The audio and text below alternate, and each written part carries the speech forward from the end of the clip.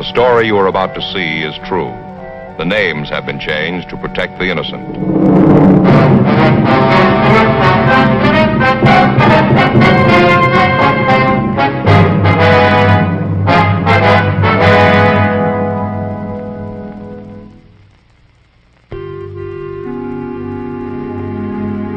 This is the city.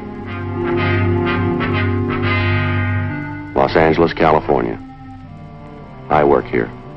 I'm a cop. It was Monday, January 17th. It was cold in Los Angeles. We were working the night watch out of robbery division. My partner's Frank Smith. The boss is Chief of Detectives Thad Brown. My name's Friday. We got a report that a woman had been badly beaten in her home out on Oakwood Avenue. She was unable to describe her assailant. He was still at large. We had to find him.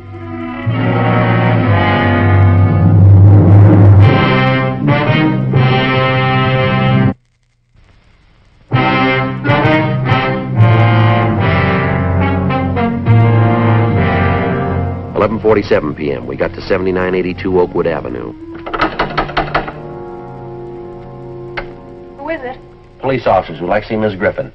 How do I know? I beg your pardon? How do I know you're police officers? Pass it through. I want to see it good. I'm sorry, I can't do that, ma'am. You'll have to look at it here. Can you see it? Well, all right.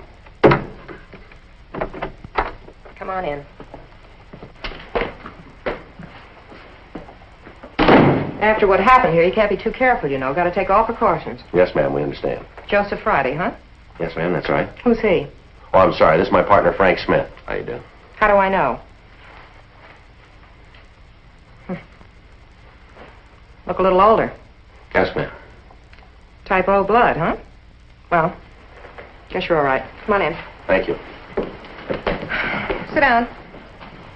Get you anything? A cup of coffee, some hot chocolate, maybe? No, nothing for me. Thank you. You? No, ma'am. Thanks. Well, suit yourself. Now, what can I do for you? We understand you know Ms. Kieran. Next door neighbors. Maybe you can tell us what happened over there tonight.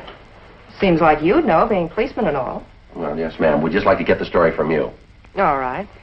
I was sitting here watching the TV. Just going out to the kitchen to get a plate of snacks for the late show. You know, I like to kind of munch. Yes, ma'am. Ate a whole pot of cheddar cheese one night watching Baron Leone. Yes, ma'am. Now about tonight? Well, all of a sudden I heard this scream, real loud. I wasn't watching the television right then, so at first I thought it was from the set. You know, like a drama. Yes, ma'am. Got myself all settled for the movie. Then I heard another scream. That's when I knew something was wrong. Now, how's that?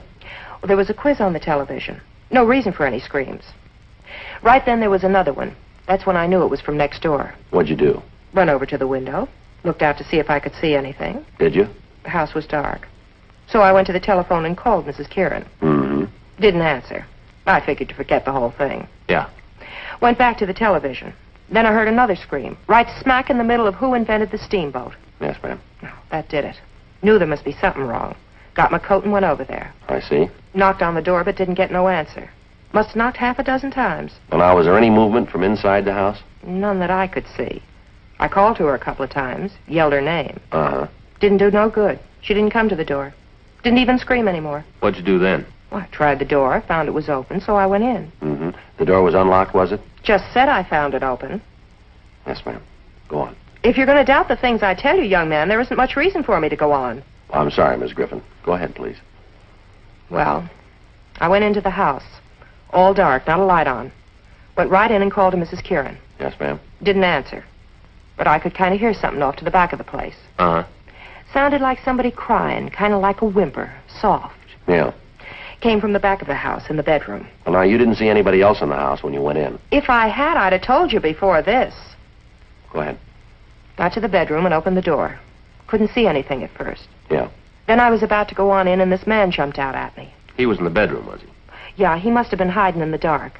Heard me coming, got back so I wouldn't see him. Mm-hmm. When I opened the door, he jumped right out, almost scared me to death. Then what'd he do? Just jumped at me and ran out of the house, right through the front door. Opened it first, of course. And then I heard it slam. Was he armed? Couldn't tell. And then I heard the crying again.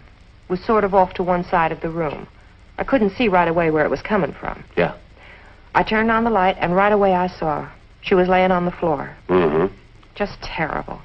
The room was all tore up, things all thrown around, a real mess. And her laying right in the middle of it, all beat up. Looked like whoever done it tried to kill her. What'd you do then? Called the police. Dialed O and told the operator to send a policeman. Wasn't long before they was here. Seemed like a hundred of 'em all over the place. All right, Miss Griffin. Now, I wonder if you can give us a description of the man you saw. Other officers asked me the same thing. Isn't much I can tell you. Just all of a sudden he was there, and then he was gone. You're pretty sure it was a man, though. Certainly. Guess I know a man when I see one. Been married to one for 12 years. Yes, ma'am. Can you tell us anything about him? Just got a glimpse of him. Not good. Can't tell you anything about how he looked. He was standing in the dark when I came in. Next thing I knew, he jumped right past me and went out the front door. Uh-huh. Would you know him if you saw him again? Oh, I don't think so. Just a glimpse, that's all. All right. I'd sure like to help, but there isn't much more I can tell you. That's okay. How is Mrs. Kieran? She going to be all right? Yes, ma'am. She'll be in the hospital for a few days, but she's going to be all right. Isn't she able to tell you something about the man who did this? No, ma'am. Seems like she'd be able to describe him. He must have been there for a good 15 minutes. How do you figure that? Well, it must have been at least that long from the time I heard the first scream until I got over there. First off, I didn't think it was real. I thought it was on television. Yes, ma'am. You told us that. Must have been 15 minutes. Uh-huh. Did Mrs. Kieran have any enemies you know of? There were some people who didn't like her. A couple right here in the neighborhood. But none of them that would do a thing like this. How'd she and her husband get along, would you know? You mean, did they have any fights? Yes, ma'am. All the time. Seems like they was always battling about something. You know what caused the arguments? Mostly about her and other men. He thought she was running around on him. They used to fight about it. A couple of times he said if she didn't stop, he was going to kill her. Was it true? You mean about her and the men? Yeah. Might have been, for all I know. I didn't pay much mind to their troubles. Seems like I had too many things to keep me busy without getting mixed up in their problems.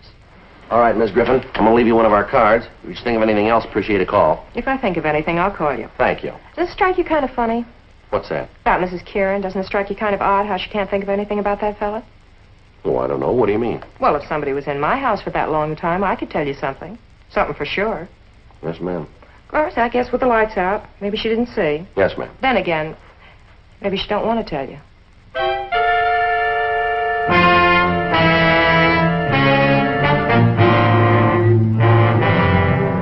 Frank and I drove to Georgia Street Receiving Hospital. We talked to Dr. Sebastian and found that the victim had recovered to the point where she could be moved to her own hospital. We also talked with the officer who was with her. He told us that the woman hadn't been able to give any new information and her husband still had not been contacted. While I checked the crime lab, Frank ran the names Irene and Tom Kieran through R&I. 2.14 a.m. We met back in the squad room. Hi, how'd it go at the crime lab? It's all here. Here's a picture of the room. The woman was found about here. You can see the way the stuff is scattered all around the place. Yeah, looks like a robbery. Well, That's what he wanted it to look like. What do you mean? Well, in the dresser drawer here, boys from the crime lab found $120 in cash. All the thief had to do was open the drawer and he'd have seen it, too. How about the entrance? Something else that doesn't seem to gel. Yeah. They checked all the windows and doors. No sign of any breaking. She must have opened the door for the thief. That means it was probably someone Mrs. Kieran knew, huh? Looks that way, doesn't it? Here's a picture of a footprint that Lee Jones found in the earth beside the path. The way it looks, the thief left the path when he ran from the house. Stepped in the soft dirt here. Do us any good?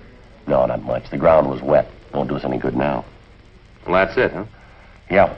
Latent prints didn't come up with anything. How'd you do? Nothing on the woman. Husband's got a record. Yeah. Mrs. Kieran had him pinched about 18 months ago on a beating charge. Refused to prosecute. Same thing a year ago. Beside her complaint, he's been booked for ADW and suspicion 211. Well, looks like we might have a case against the husband.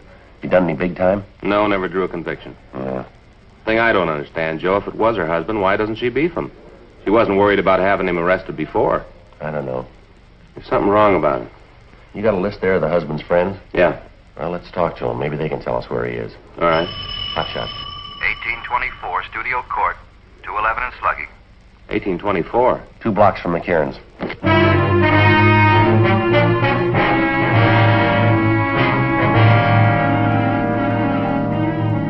We left the office and drove to the address, code 3. The victim was identified as a Mrs. Milo Hudson, age 28. An ambulance was dispatched from Hollywood Receiving Hospital and she was given first aid. She'd been beaten about the head and shoulders. As soon as the attendants had finished, Frank and I talked to her. Would you like to tell us what happened here?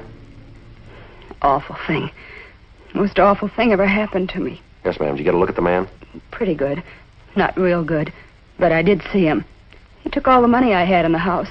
Twenty-seven dollars. Could you describe him for us? How do you mean? Well, how tall was he? I guess About as tall as you, I'd be about 5'11. if that's how tall you are. Yes, ma'am. How much would you say he weighed? Was he heavy or light? Round his size. I'd be about 175. I guess so. Anyway, his size. What about his face? Did you see it? Yes, sir. Got a good look. Would you know him if you saw him again? I certainly would. Never forget that face.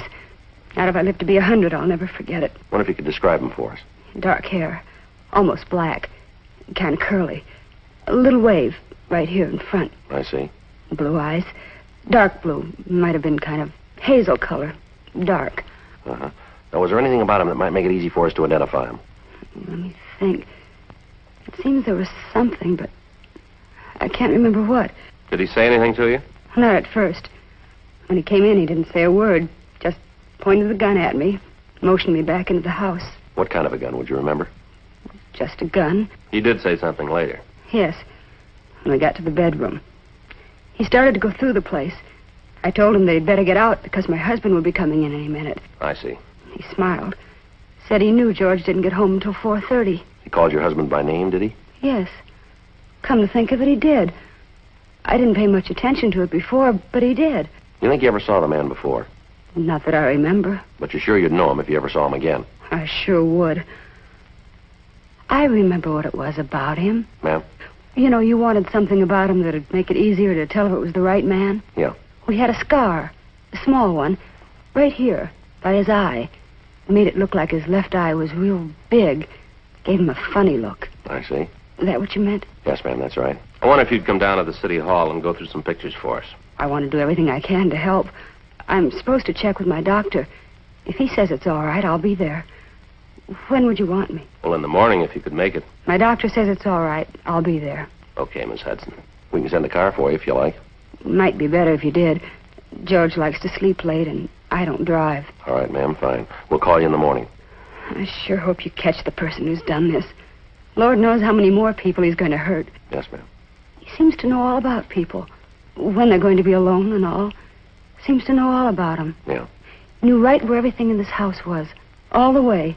Knew right down to a T. You're sure you never saw him before? Positive. You don't forget that kind of face. See it once and you remember it all your life. Has there been anybody new in the neighborhood?